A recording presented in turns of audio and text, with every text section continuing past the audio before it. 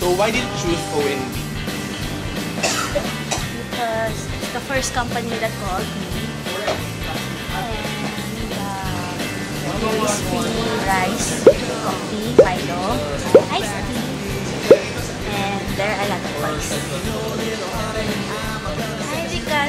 Environment is so relaxed, you can almost sleep every day, every hour. So thank you. You know, with me, you get to work closely with your developers and very relaxed and result-oriented siya. So hindi ka niya pressure As long as you go here every day, magtrabaho ka. Working environment in Orange and None is very cluttered.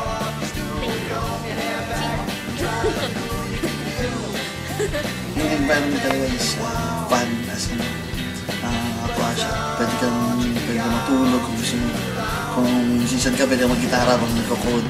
Kasi walang limit na para yung creative juices mo eh, tuloy-tuloy na. Mapansin ko parang ay ito yung normal na or usual na IT company kasi parang parang homey yung atmosphere. So hindi hindi siya parang hindi siya masyadong stricto. Yun yung impression na ako. Although ah syempre trabaho pa rin, eh, di ba? Pero mas madali kasi magtrabaho pag magaan yung environment. Actually, nandito ako and I didn't expect really to find this type of environment here. I was surprised. I didn't know. Sabi sa akin ni Karen, malagugol daw dito. So, syempre, parang kala ko social Google. Yung pala. Ko, ah, gano'n na. I don't think you can find any other company that is set on this way. Ang Orange and Bronze is, in itself, a class of its own. It's best in class and it's in a class of its own. Are you happy? No. Yes. Naman. Oo, oh, sure. Masaya masaya. Maraming bagay bakit ano, masaya. Ano yung trabaho ko, masaya. Masaya ka nag-work, gano'n. Masaya sa ginagawa, masaya ka sa result ng ginagawa mo.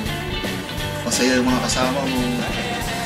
Yun, maraming bagay masaya.